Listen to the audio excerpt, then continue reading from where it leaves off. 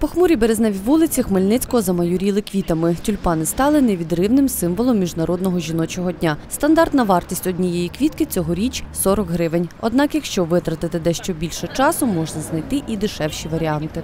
Розовий з білим. Більшості всі. Ну і білі, просто білі. Ну, взагалі по 9 штучок, по 5. Не більше. Ну, як хто хоче. Ми вирощуємо тюльпани самі. Тут на місці в Хмельницькому продаємо по 30 гривень. Чіткого правила, скільки тюльпанів мусить бути у букеті, звісно, немає. Проте флористи кажуть, одна квітка це символ уваги, три кохання і інтрига, дев'ять побажання довголіття. Також квіткарі радять формувати різнокольорові букети. Вони матимуть значно цікавіший вигляд. Цього дня важко зустріти перехожих без квітів у руках. Я йду на ділову зустріч до жінки. Е, Вона молодша е, за віком за мене. Ну я думаю, переддень весняного свята доречно робити одні одним приємні подарунки, приємні сюрпризи. У мене багато дівчат. Я купив для всіх, для своєї родини, скажімо так, для, для, для родини і для близьких. Ми йдемо підтримати свою колегу.